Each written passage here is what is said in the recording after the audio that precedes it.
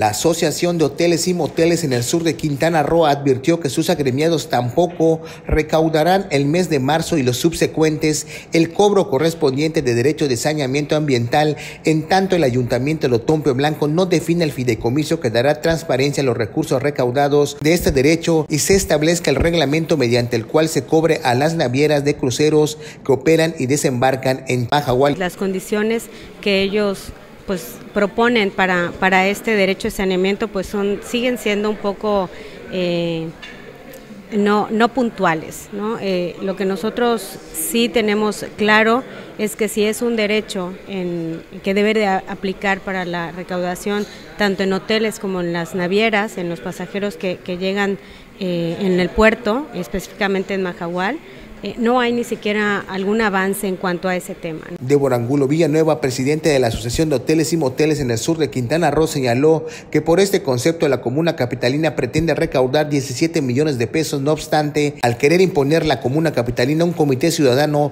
y no un fideicomiso para la administración de los recursos y no definirse el cobro de este derecho a las navieras, los 40 gremiados no realizarán el cobro pertinente. No lo estamos cobrando. En manera general, eh, los hoteles de Otompe Blanco no lo estamos cobrando, puesto que no se va a, a, pagar ¿no? en el mes de, febrero al menos, para pagar en el mes de, de marzo. Más que el diálogo, que ya entonces tengan un posicionamiento firme en cuanto a este tema y en las condiciones que se puedan dar. Reiteró que los empresarios hoteleros, principalmente de Majahual y Bacalar, mantienen su postura de no recaudar este recurso el tiempo que sea necesario hasta que se alcancen los acuerdos pertinentes. Para Notivisión, José Palma.